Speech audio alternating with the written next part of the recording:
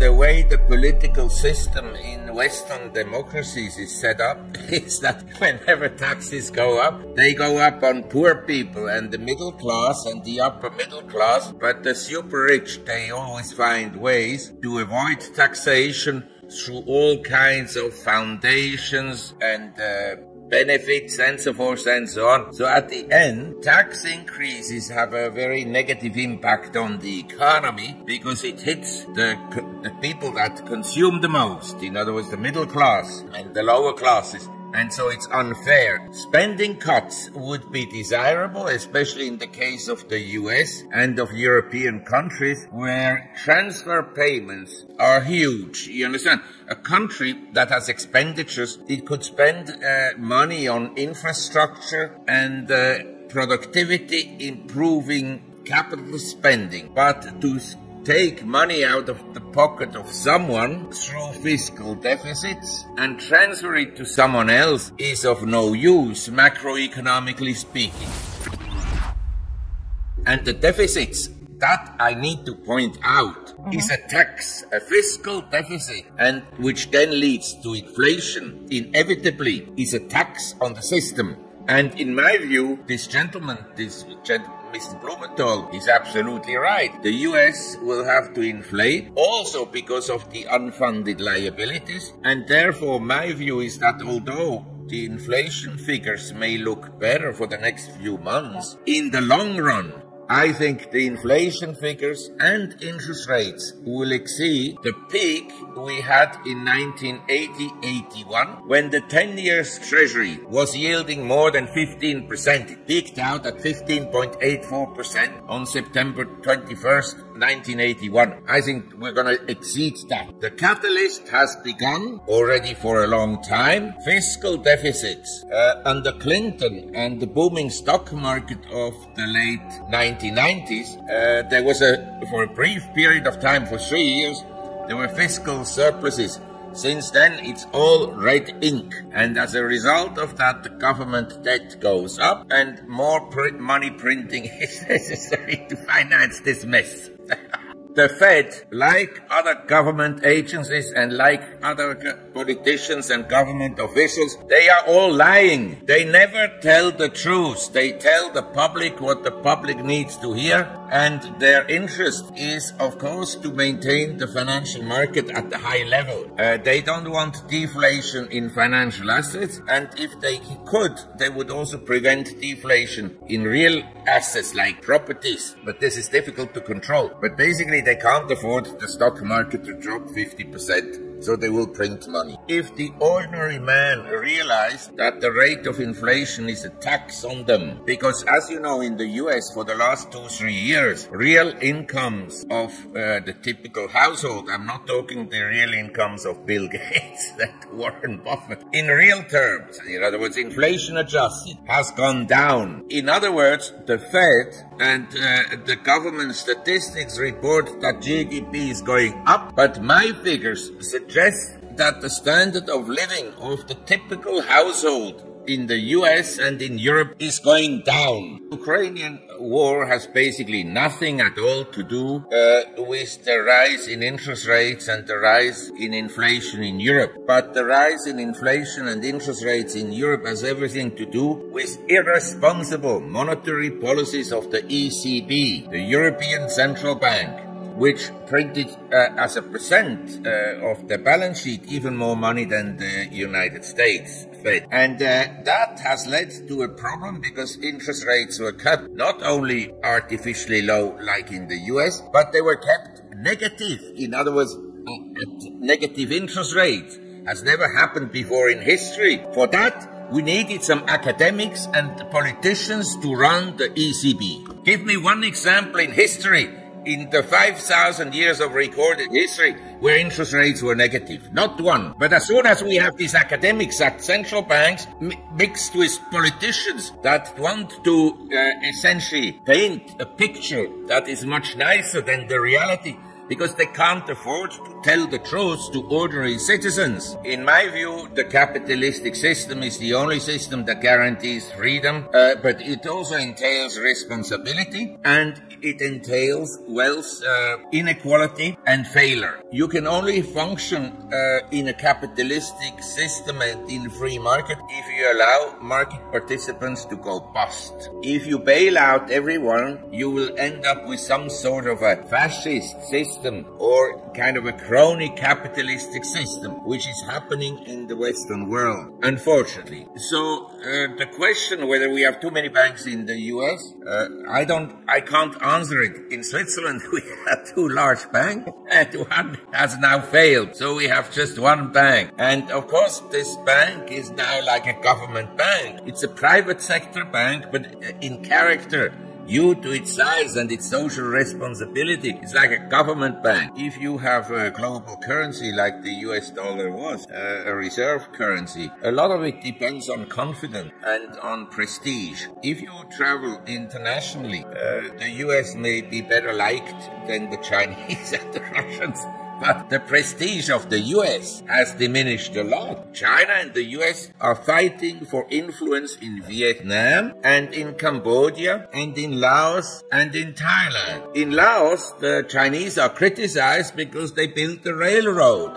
Well, what do you think is better, to build a railroad or to carpet bomb the country? So it's normal that the Laotians that are among the poorest and the least developed nations in the world, they accept the Chinese investments with open hearts. And they're still collecting the bombs that the US dropped on the country. Carpet bomb! I'm always concerned when the system breaks down that uh, you may not have access to your money, that it's taken away by, you know, the system. I mean, if people, if the government of incompetent bureaucrats that I have to stress, that I agree with Kennedy. If these people could lock up a population, then they can also take your money away uh, anytime. They can imprison you and so forth and so on. So these are concerns. Uh, I live for this reason also in a country which is not extremely well organized, so you can slip under the radar. I think people, before they go on social media and broadcast all their achievements, they th should think twice about it. I have friends who are ultra rich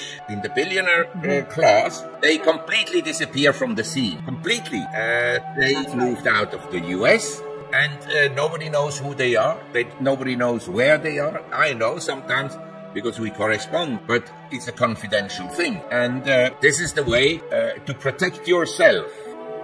We are in a situation where an investor has to ask himself, okay, I agree to some extent with Marc. I may think that it's not going to be as bad as he says, but it could be worse and this and that, and uh, that asset prices will go down. So how do I hedge? Now, the only hedging mechanism that I think makes sense is diversification. I mean, if I look at uh, today's performances of markets uh, and assets, uh, the, the, asset class that went up is oil and gas, energy. Uh, the best performing is the one that was hated the most by the Greens, coal. They have all the negative things about coal and it's been performing wonderfully. And there are lots of coal stocks that are four five times in one year. Uh, different assets peak out at different times. And my sense is that we are in a period of uh, lengthy, unattractive environment for asset. Whether you own real estate, the government is going to F you because they're going to increase taxes on real estate or on transactions, or in the socialist uh, states in the US, they'll impose rent controls. Rent controls is for the business owner, for the owner of an uh, apartment building, uh, the worst because his cost of maintenance go up he can't charge more to his tenant. And uh, the people that run the, the governments nowadays, they're interventionists. That's the biggest problem. They all think they're smart. They all think they should intervene in the economy.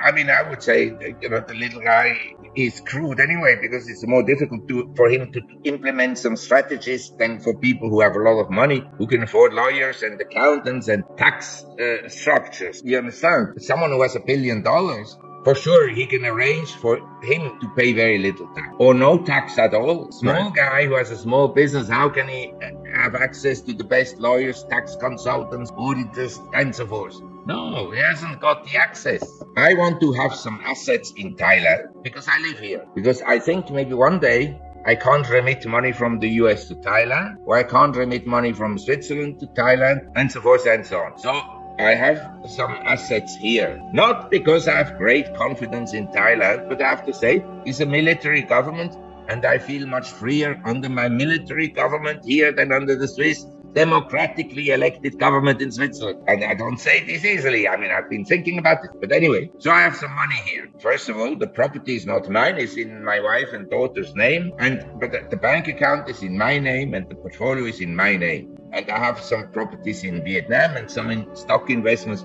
in Vietnam. But the logistic is the custody is in Vietnam. It's not Vietnamese stocks held through an American bank. You, understand? If you want the geographical uh, diversification. You can't hold all your assets in one bank and they have own shares in Brazil and some in Russia and some there. You have to have the custody in different geographical locations. Nobody has yet told me, hey, how do you, will you uh, recycle all these batteries that will come on stream and the blades of windmills that they want to drive uh, or supply the energy uh, from in Germany and so forth. And nobody has told me what will really happen when the dollar will begin to weaken considerably. Now you may say, Marc, don't be stupid. The dollar will never be weak. Okay, then I'm stupid to think about it. But in my view, the likelihood that the dollar will one day be kind of the currency that nobody wants is, in my opinion, quite likely. I'm not telling you that it's happening, it will happen tomorrow or the day after tomorrow. I don't know from what point it will happen, but one day the dollar will become very weak. And at that stage, it will become very interesting what happens to interest rates and what happens to the economy and so forth and so on. I don't want to sound overly bullish and I don't want to sound overly bearish, but if I look at the US market compared to the emerging markets and compared to European markets, uh, it has outperformed just about everything over the last 11 years. And uh, emerging markets have performed very badly relative to the US since 2015. Some a bit later, some a bit earlier. I think that in emerging economies, that's my observation. I'm not bullish about Thailand, but realistically looking at the economy, the advantages it had and it has and the disadvantages. Disadvantages. I think in Thailand the valuations are okay. You know, you buy today, maybe they'll drop another 30%, but eventually they'll be higher. You buy today the semiconductors in the US, I'm not sure they'll be much higher 10 years from now because I've seen Cisco. Cisco, Nvidia was like Cisco in, nine, in year 99, 2000, never recovered. And so I think that in emerging economies, when I look at Latin America, and you said at the beginning, Marc, there are these and these and these factors that may have a negative impact. I said maybe all of them come into play. Mm-hmm. Then I would say Latin America is probably geographically the place that could maybe stay out of World War III, World War IV, you know, of a major conflict. So to have some assets in Argentina and Brazil may not be so stupid. I don't have major hedges. My hedge is that I have a relatively large cash position, which includes bonds that mature within a year or two. But I look at it this way. I think a lot of people will lose all their money. A lot of people will lose 50%. I hope I will only lose, say, 15 to 20%. The price of gold and silver and platinum have been weak and uh, there's no interest among retailers to buy it. In other words, it's an investment that is neglected. It's not the best investment, but it is an avenue to lose less money, to have something in uh, your custody, but you have to decide where you want to keep it under your mattress or in your garden or in a safe deposit box and so forth. This is a decision you have to take. But basically, I would use this weakness to accumulate some, which I buy every month gold for the last 40 years. Asset price collapse like the 30s. Uh, I don't think many people made money. Uh, there was a big opportunity to make money in the 20s and 30s. And uh, I, al- I, also say this today in illegal activity, smuggling, black markets. Because if you think about it, the government intervenes more and more. Don't think in the world that government officials are like angels and all the businessmen are evil. and all the businessmen cheat and uh, do funny things. The government is honest. Not at all. If you look at the fight of the struggle between the mafia and the government uh, from the times of the prohibition until today, well, maybe uh, the government officially has won. Or I could argue, no, the mafia has taken over the government. Yep. It's become very, very corrupt. Uh, don't believe uh, for a second that in Western democracies the governments are nice people. No, they're all utterly corrupt. They're all and they, they all take money